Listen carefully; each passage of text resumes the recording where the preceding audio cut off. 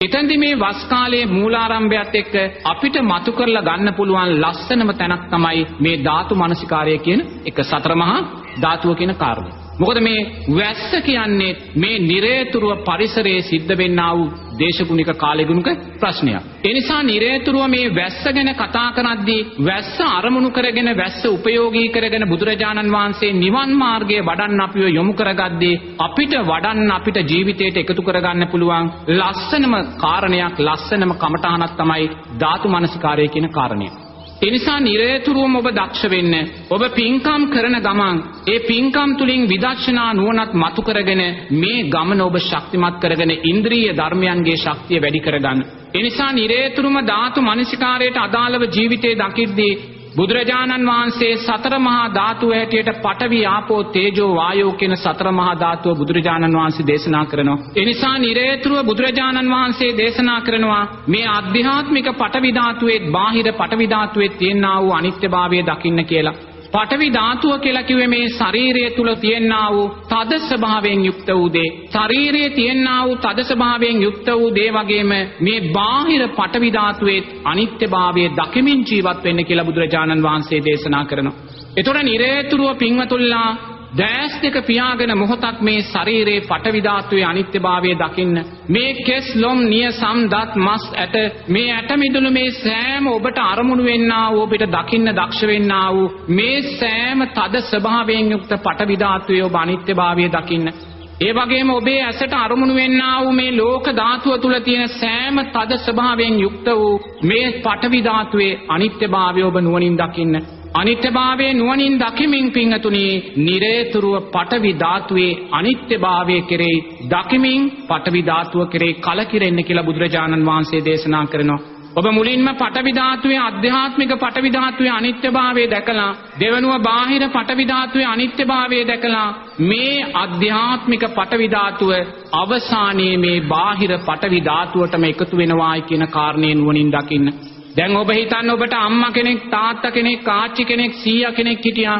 ඒ ආච්චිගේ අධ්‍යාත්මික රූපේ පටවි ධාතුව ඒ සීයාගේ අධ්‍යාත්මික රූපයට අදාළ පටවි ධාතුව මේ මොහොතේ බාහිර පටවි ධාතුවට එකතු වෙලා පස් දූවිලි බවට පත් වෙලායි තියෙන පිංගතුනේ.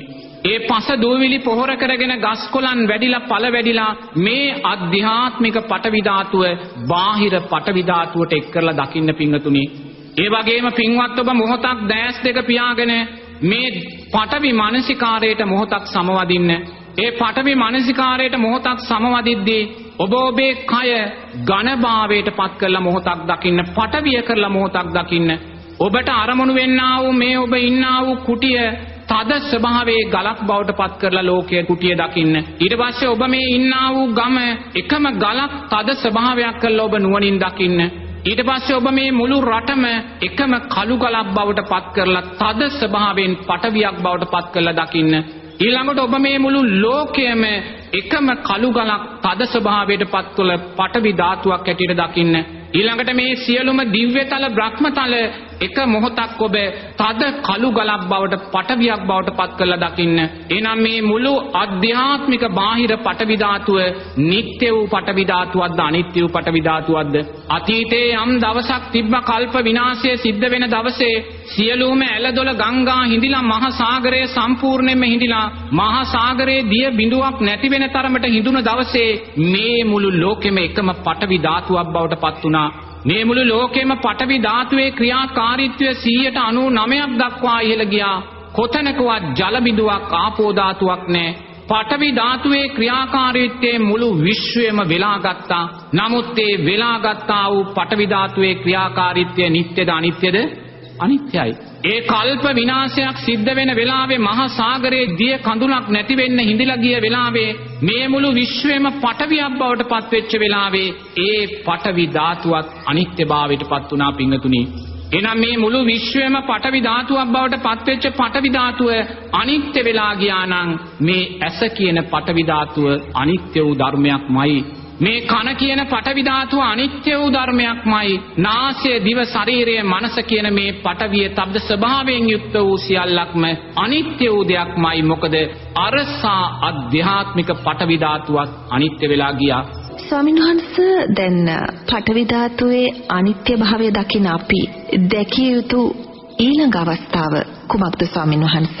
ඊළඟට පින්වතුල්ලා තේජෝ ධාතුවේ අනිත්‍යභාවය නුවණින් දකින්න මේ ශරීරයේ තියෙන උණුසුම් ස්වභාවය නුවණින් දකින්න ඒ උණුසුම් ස්වභාවයේ වෙනස් වීම නිරේතුරුව නුවණින් දකින්න මේ ආධ්‍යාත්මික තේජෝ ධාතුව වගේම බාහිර තේජෝ ධාතුවේ අනිත්‍යභාවය දකින්න. ඒ වගේම බාහිර අපිට අරමුණු වෙන්නා වූ සෑම මිනිස්සෙක්ගේ සෑම සත්වයකගේම රූපය තුළ තියෙනා වූ තේජෝ ධාතුවේ අනිත්‍යභාවය දකින්න. මේ පරිසරය තුලින් සකස් වෙන්නා වූ මේ තේජෝ ධාතුවේ අනිත්‍යභාවය දකින්න අනිත්‍යභාවය දකිමින් නිරේතුරුව මේ අධ්‍යාත්මික රූපය තුල සකස් වෙන්නා වූ තේජෝ ධාතුවත් බාහිර තේජෝ ධාතුවත් අනිත්‍යභාවයට පත්වෙන හැටි නුවණින් දකින්න. යම් දවසක මේ අධ්‍යාත්මික රූපය තුල තියෙන තේජෝ ධාතුව මිය පරලව ගිහිල්ලා මහ පොළවට මේ බාහිර සතර මහා ධාතුවටම මේ තේජෝ ධාතුව එකතු වෙන හැටි නුවණින් දකින්න. නිරේතුරුවම තමන් මේ තේජෝ ධාතුව පිංගතුනි අනිත්‍ය සංඥාව වැඩෙන ආකාරයෙන් නිරතුරුව දකින්න. එතනි දැකලා තේජෝ මානසිකාරයට සමවදින්න. දැස් දෙක පියාගෙන ඔබ මොහොතක් මනසින් මේ ශරීරයේ උෂ්ණත්වය වැඩි කරගන්න. ඔබ දන්නවා ඔබ උණ ගැනුන වෙලාවට ඔබේ උෂ්ණත්වය අංශක 100ට ඔය වගේ ප්‍රමාණයට වැඩි වෙනවා. මේ වගේ ඔබ උණ ගැනුන වෙලාවට ශරීරයේ තියෙන උෂ්ණත්වය ඔබ මනසින් ඇති කරගන්න. මනසින් ඇති කරගෙන ක්‍රමානුකූලව මනසින් ශරීරයේ උෂ්ණත්වය වැඩි කරගන්න. මේ ශරීරය ඔබ ගිනි ගන්නා ගන්න. දැන් මනසින් මේ දේ කරන්නේ දැන් තමන්ගේ ශරීරය තමන් ගිනි ඇවිලෙනවා තමන් දකිනවා. මේ ගිනි ඇවිලෙන ගින්නකින් මේ කුටිය ඔබ ගිනි අවුලෝ ගන්න. දැන් ඔබත් මේ කුටියත් දෙකම ධාතු මානසිකාරයට ඔබ ලක් කරලා මේ දෙකම දැන් මනසින් ගිනි ගන්නවා.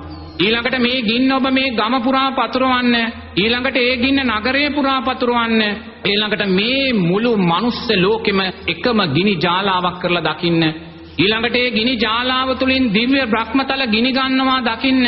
මේ මුළු විශ්වයම එකම තේජෝ ධාතුවක් බවට පත් කරලා දකින්න. මේ මුළු විශ්වයම මේ අධ්‍යාත්මික රූපයත් බාහිර රූපේ තේජෝ ධාතුව. මේ මුළු විශ්වයම තේජෝ ධාතුවක් බවට පත් කරලා දකිද්දී ඒ තේජෝ ධාතුව නිට්ටයද අනිත්‍යද? අනිත්‍යයි.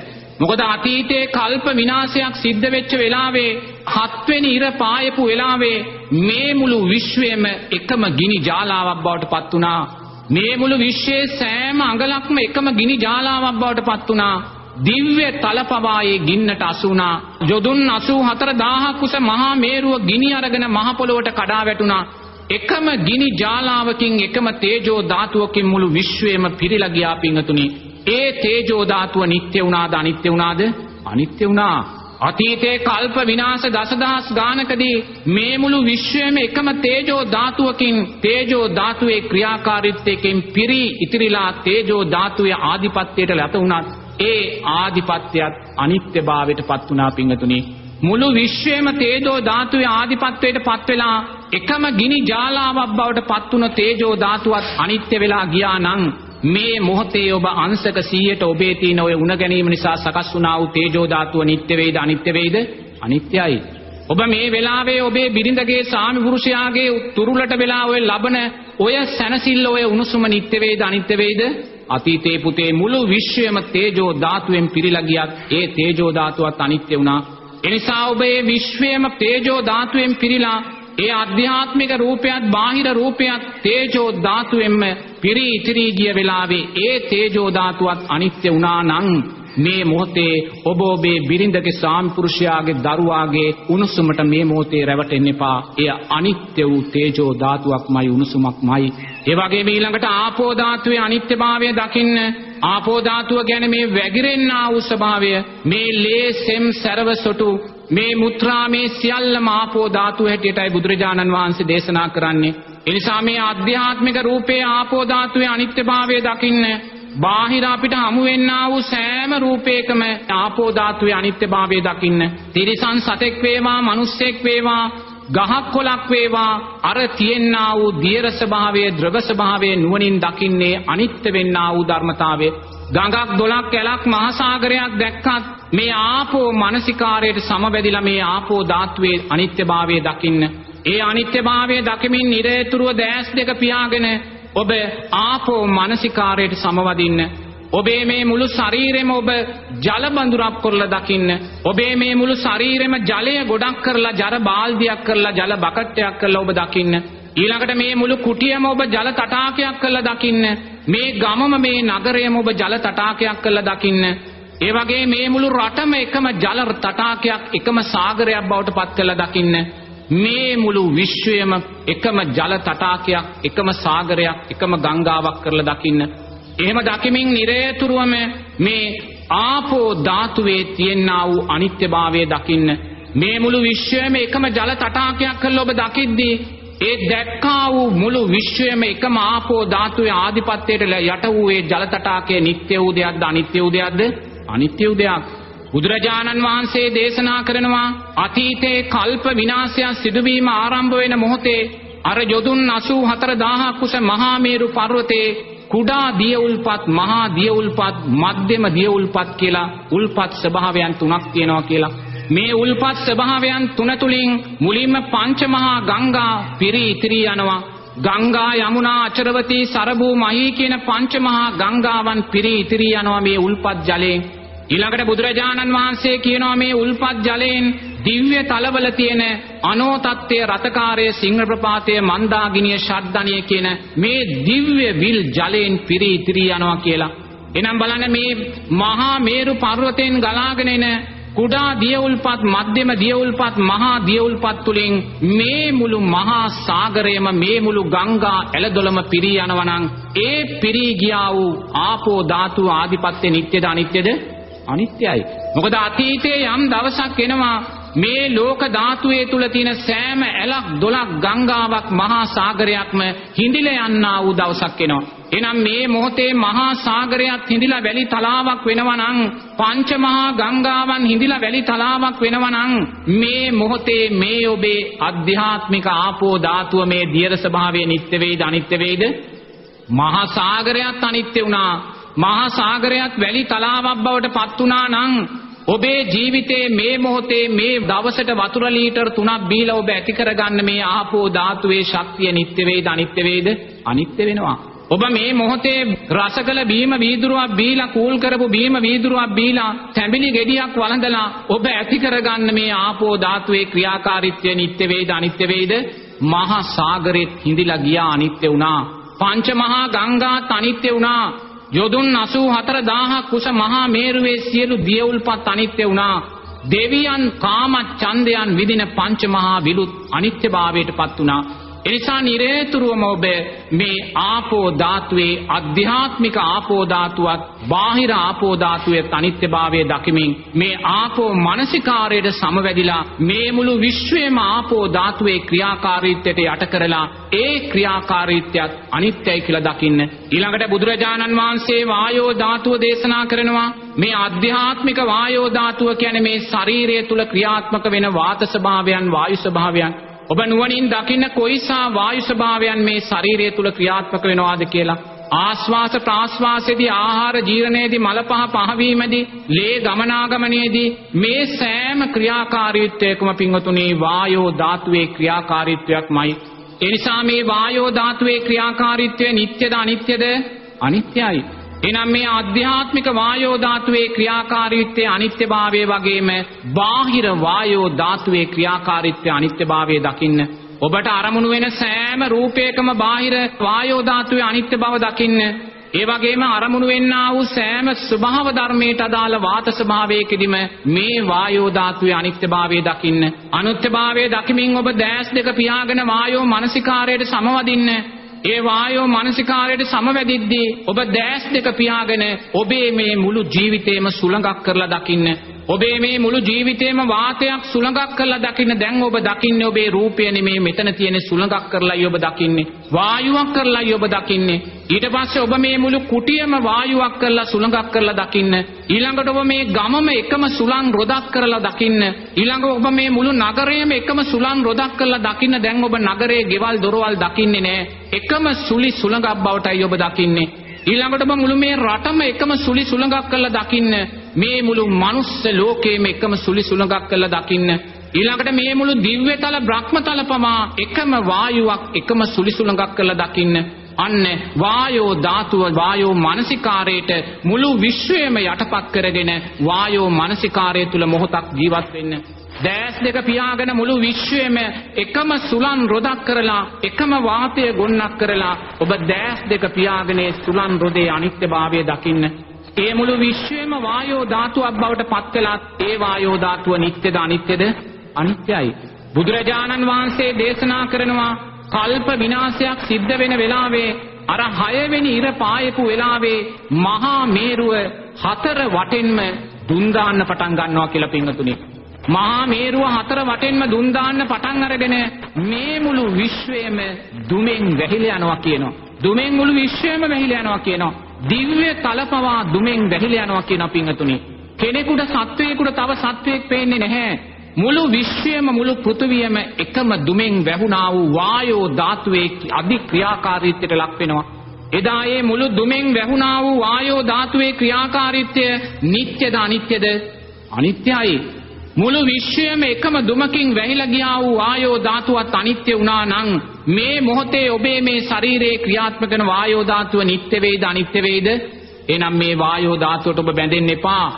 ඒ නිසා නිරේතුරුවම බුදුරජාණන් වහන්සේ මේ උතුම් වස් කාලය දේශනා කරන්නේ මේ ස්වභාව ධර්මය මුල් කරගෙන ඔබව චතුරාර්ය සත්‍ය දෙසට යොමු කරන්න.